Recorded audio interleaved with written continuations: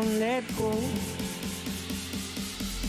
This is our home.